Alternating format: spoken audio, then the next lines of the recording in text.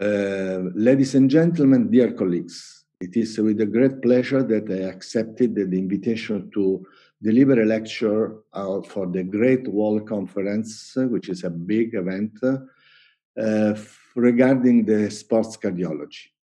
Uh, sports cardiology is a relatively new subspecialty that has been developing within the European Society of Cardiology in the last 10 years. And the interest for this area is so great that the eventually the association, the society, decided to organize a panel of experts delivering the guidelines on sports cardiology and exercise. And exactly, this is the topic of my lecture. I, I want to introduce you to the main topics of the sports cardiology recognizing that the sport is uh, a very relevant uh, habits and a very common uh, behavior in every single patient and every single family. And you may ask why the European Society of Cardiology should focus on a topic which are just not the classical cardiovascular diseases. And let me say, not only for the large interest for sports, which is participated by the large proportion of our population, but also in consideration that um, exercise, regular exercise program and sport participation represent a very suitable and efficient strategy to reduce the sedentary lifestyle and the increasing trends for obesity, diabetes, and associated cardiovascular diseases.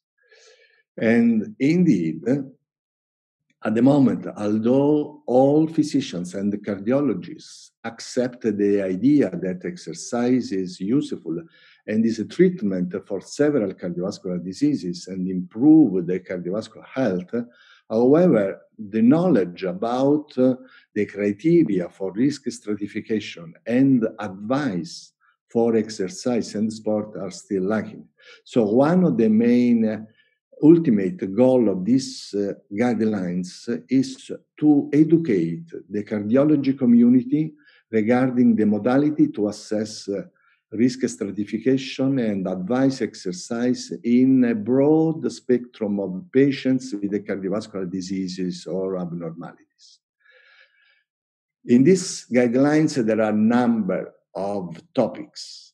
And I, for the reason of this presentation, I selected just a few of these topics on the based on the relevance that these uh, topics have in the clinical practice in the life in the everyday life of uh, our cardiologist colleague cardiologists let's start with coronary artery disease or better chronic coronary syndrome.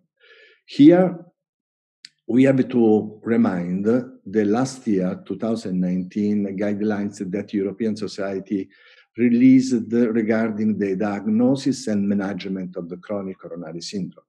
These uh, teaching uh, were also relevant part of the current sports cardiology guideline. Just me, let, just let me focus on uh, one of the point, the main point uh, regarding the identification of patient with uh, coronary artery disease. One of the goals of the previous guidelines was to try to reduce the indication for uh, diagnostic testing to only cases in which there is a reasonable improvement and enhancement of the diagnosis. In other terms, if you have a patient with a clear uh, clinical symptoms of angina, uh, the guidelines suggest to go directly to coronary angiography and eventually treatment. But this is not what we, we, what is relevant for us at the moment. What is relevant for us is the other end of the spectrum. In other terms, all these people that have a relatively low risk profile with a relatively low prevalence, low uh, likelihood to have coronary artery disease, which nevertheless, such as master athletes, which nevertheless, according to the several papers and observations that have been releasing in the last 10 years, they do present evidence of coronary artery disease on the CT scan or cardiac or eventually late gadolinium enhancement in the cardiac MRI, suggesting that the prevalence of the coronary artery disease, even silent, is very relevant in this population. Well, which is the approach suggested by the previous guidelines and the current sports cardiology guidelines. A large, a more large interest is devoted for the functional imaging and for the imaging, imaging for the imaging uh, diagnostic testing, such as coronary tomography. And specifically, I want just to remind you something about uh, computed, computed tomography coronary angiography. Uh, specifically, what were the results of the SCOT-HEART trial that has been published just last year. This trial demonstrated that the cardiovascular uh, events, including death and non-fatal myocardial infarction, infarction, was significantly lower in patients in whom a coronary uh, CTA was performed in addition to the routine testing. In other terms, what is obvious, if you do not restrict diagnostic evaluation just to exercise EKG, but to also add CTA, you may have a significant impact on the outcome, on the diagnostic prevalence of the disease and the outcome of this disease. And specifically, just let me show these uh, very, very simple figures. Here on the left, you have the stratification of the risk and the incidence over five-year follow-up of the major cardiac events in patients that were stratified just according to exercise EKG. On the other hand, here on the right, you have uh, the differences when you add also CTA to the EKG, uh, to the exercise EKG. In other terms, the conclusion that we can derive from this study was uh, quite obvious, that the CTA provides additional information that are out of the reach of the exercise stress and allows the best suitable and specifically individually tailored medical care. For this reason, and now we are going to the, the flowchart present in the ESC guidelines.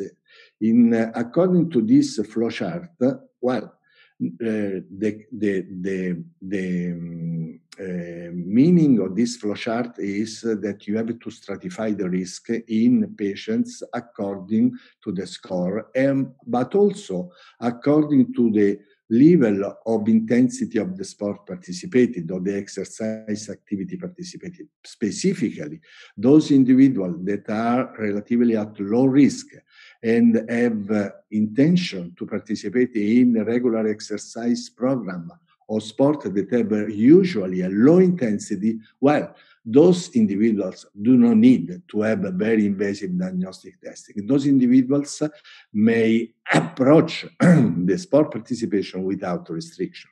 On the other hand, uh, this is actually referred to the vast majority of the people approaching sports, so are this on your right side.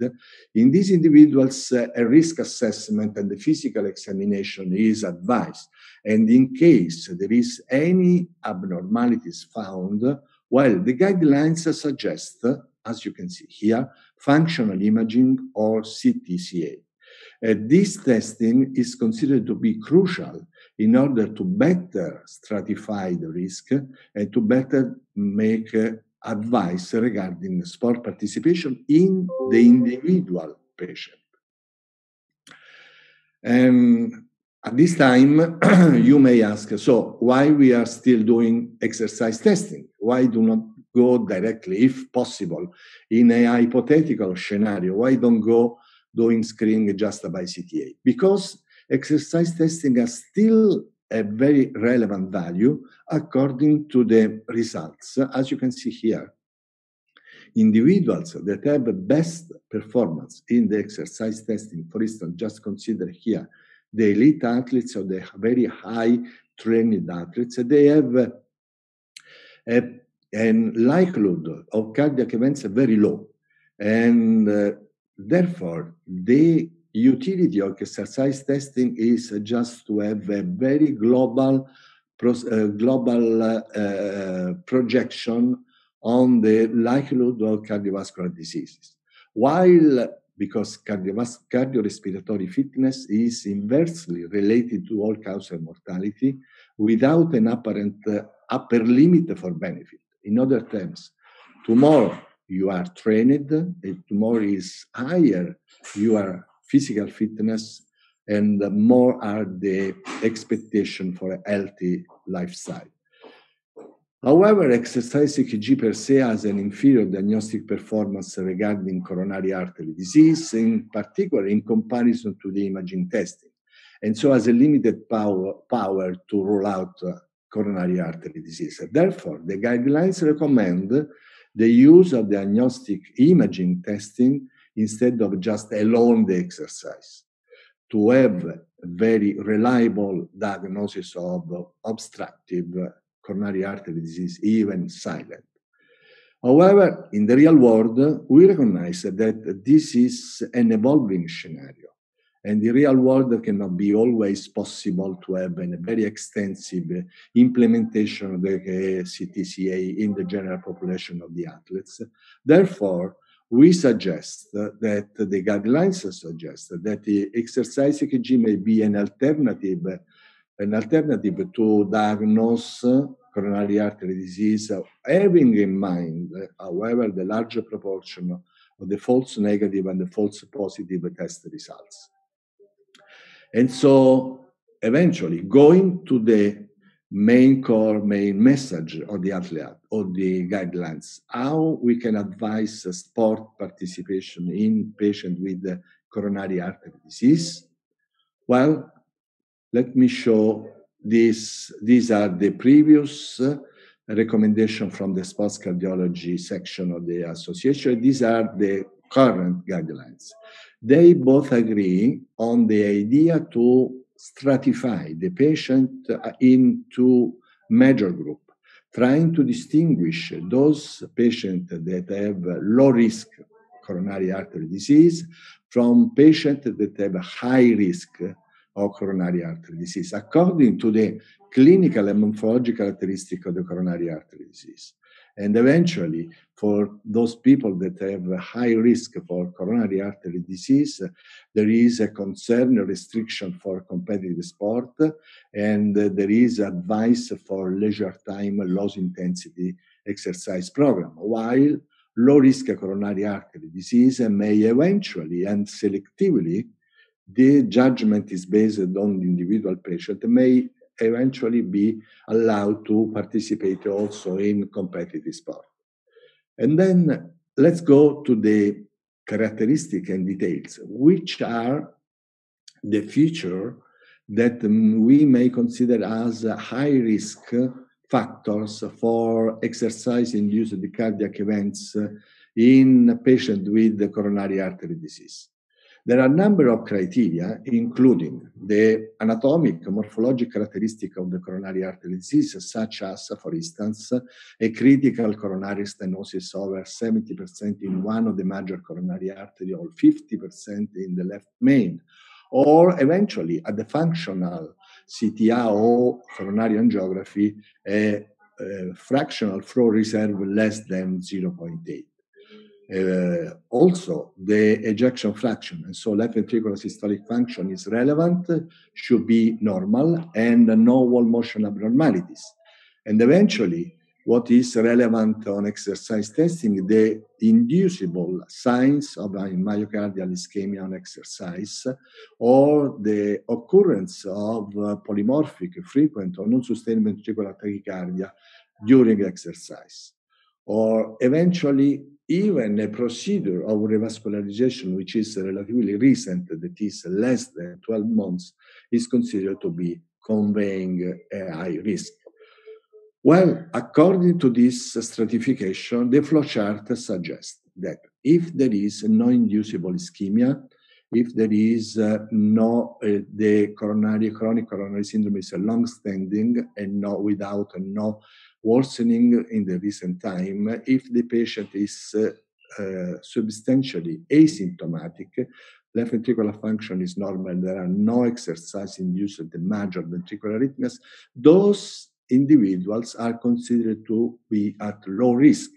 And eventually, those individuals may participate in intensive exercise program, eventually selectively, as I mentioned before. That means that this advice should be based on in, in individual evaluation. On the other hand, if you see inducible signs of myocardial ischemia on exercise testing, and you have uh, those features that I mentioned before of high risk lesion, well, these individuals uh, should be addressed to revascularization. And after revascularization, after a proper time, these individuals should be reassessed. And if they uh, shift in the low risk category, they are allowed to, intensify their exercise program. Good. And uh, here as the recommendation, which uh, actually summarizes what I just mentioned before. Among individuals with chronic coronary syndrome, which are asymptomatic, without inducible ischemia, on functional imaging or conventional exercise testing, participation in all type of exercise program, including competitive sport, could be or should be class 2A, should be considered based on individual assessment.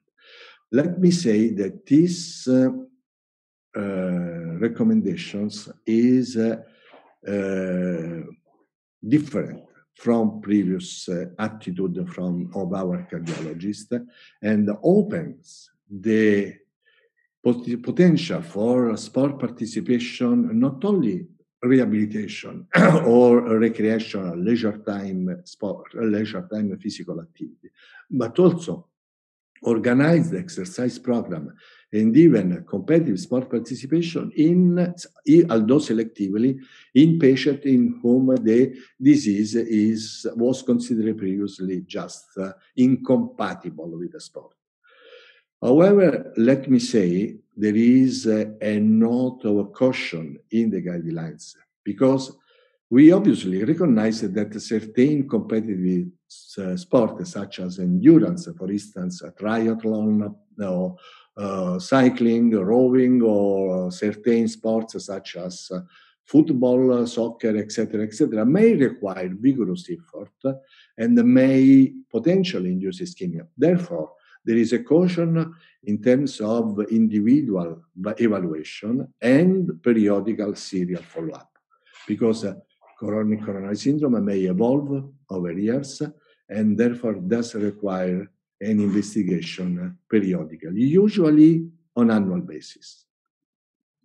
Okay, let's go shortly on one or the other topic, which are cardiomyopathies. Also, cardiomyopathies, and particularly hypertrophic cardiomyopathy, was considered one of the conditions that uh, was incompatible with the sport participation. This is stated, has been stated in the guidelines, even either of the uh, American Heart Association, American College of Cardiology, and the European Society of Cardiology.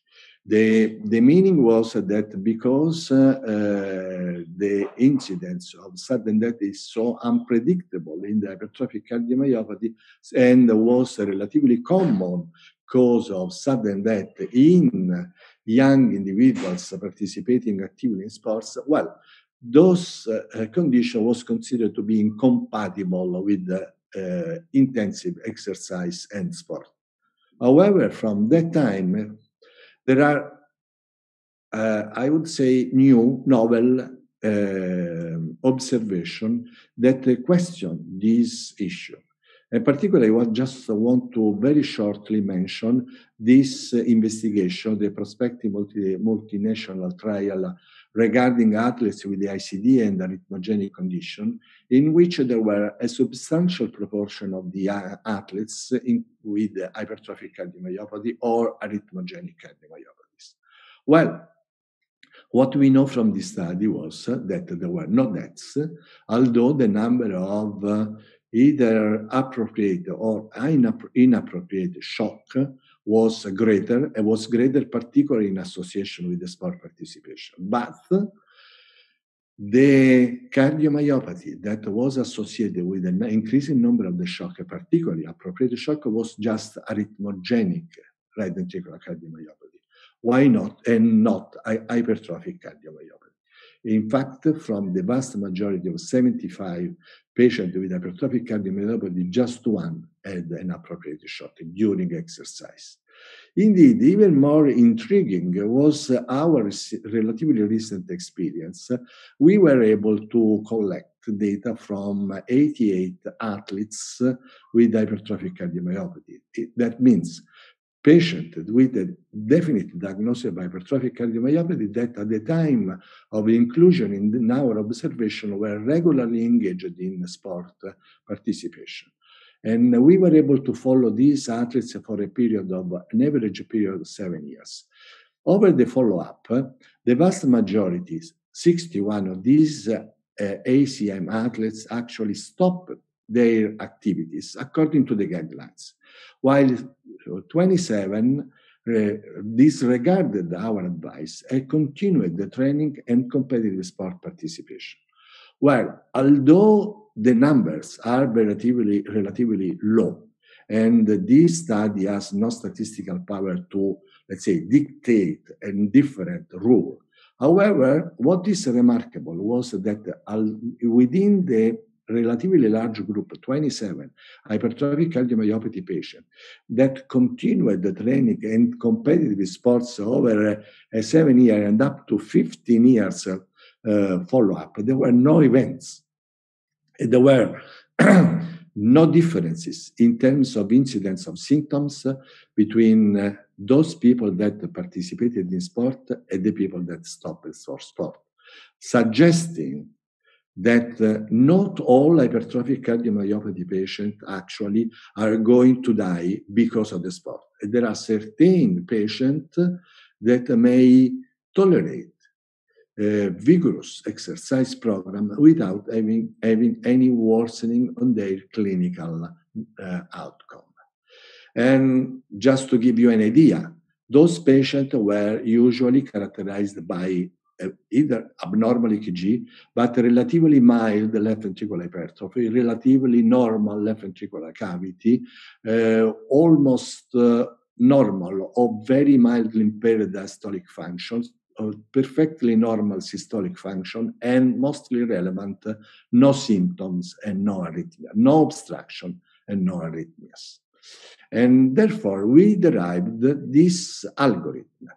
We are based our evaluation on the imaging testing, but also exercise testing, Holter monitoring, uh, in addition to the personal information. And the people that uh, were included in our uh, cohort that were able to participate in sport without any limitation, symptoms, or worsening were people that had no symptoms, no family history for sudden death, that had a very low ESC risk score, in any case less than four, that had abs- abs- absence of left ventricular obstruction, that had normal blood pressure response to exercise, no exercise induced the major ventricular arrhythmias, and were adult age, and were participating, already participating in long-term sport. So for those individuals, the guidelines suggest that those individuals, in the absence of a marker of increased risk that are exactly what I mentioned before, those individuals may be uh, uh, may be allowed in high uh, intensity exercise and competitive sport if desired. Uh, class 2B, obviously, class 2B, um, following expert assessment as a part of a shared decision making. Please notice this. Expert assessment means that the people assessing and advise sport in patients with hypertrophic cardiomyopathy should be people expert in the disease. And as a part of the shared decision making means that the patient should be totally informed, completely aware that not zero risk exists in hypertrophic cardiomyopathy, and so he should be aware that a certain proportion of the minimal risk still exists and should be uh, eventually, it should be obviously eventually serially follow up. When, with regard to arrhythmogenic cardiomyopathy, the scenario is totally different. The scenario is totally different because the guideline recognize that exercise and sport are associated with the worsened clinical presentation and outcome. And therefore, for these individuals, the recommendation are that the participation in high intensity, either recreational or competitive sport is not recommended. And the same recommendation is true also for individuals which are genotype positive but still phenotype negative. Also, in these individuals, participation in high intensity exercise program and competitive sport is not recommended. Let's go briefly to the last topic, a very short glimpse about ventricular arrhythmias. Because ventricular arrhythmias is uh, very common in young population approaching sport. And therefore, how we can approach individuals with uh, uh, ventricular arrhythmias. Uh, there are a number of issues. The question number one is there is an underlying arrhythmogenic condition, and in that case, which is the impact of the sport on the natural progression of this arrhythmogenic condition, number one. Number two, there is an increased risk, actual risk during sport for life-threatening arrhythmias because of an underlying arrhythmogenic condition, and how we can manage these symptoms, etc. Uh, what we have in mind, what we should have in mind when we approach individuals with uh, ventricular arrhythmias. Underlying cardiomyopathies may include arrhythmogenic right or left or both uh, cardiomyopathy, hypertrophic cardiomyopathy, anomalous origin in the coronary artery, dilated cardiomyopathy, myopericarditis in acute or subacute phase, or primary electrical diseases such as particularly catecholaminergic polymorphic ventricular tachycardia. And eventually, although the information and data are very lacking, doping substances. In front of a patient with the premature ventricular beats, what we have to consider. Number one, the morphology of the premature ventricular beats, because the morphology can be a clue regarding the site of origin of the uh, premature ventricular beats. And here, we have a very, very simplistic, I apologize for this because uh, it's very well known, but we have a premature ventricular beats originating from the outflow tract, either right or left, which have inferior axis with the morphology of left branch branch block or right branch branch block. Then we may have uh, premature ventricular beats originating from the His-Purkinje system, which have a narrow QRS and uh, usually the horizontal axis or inferior axis. And then we have the premature ventricular beats that may originate from the free wall, either the right ventricular free wall, which have a left branch block morphology, wide QRS and superior axis, or left right bunch branch block morphology and superior axis wide QRS if they originated from the left ventricle. These premature ventricular beats are the most intriguing for us and the most relevant for us because they may suggest the presence of cardiomyopathy. Which was the prevalence of the different patterns in athletic population was still known.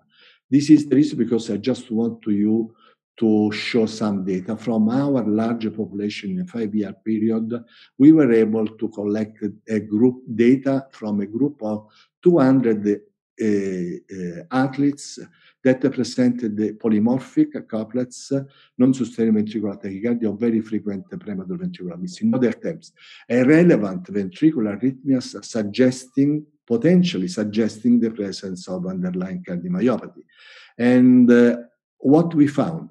We found that uh, about uh, uh half, about half, less than half, had pre- the premature ventricular beats with the morphology originating from the outflow tract of fascicular, which are reported in the literature to be benign.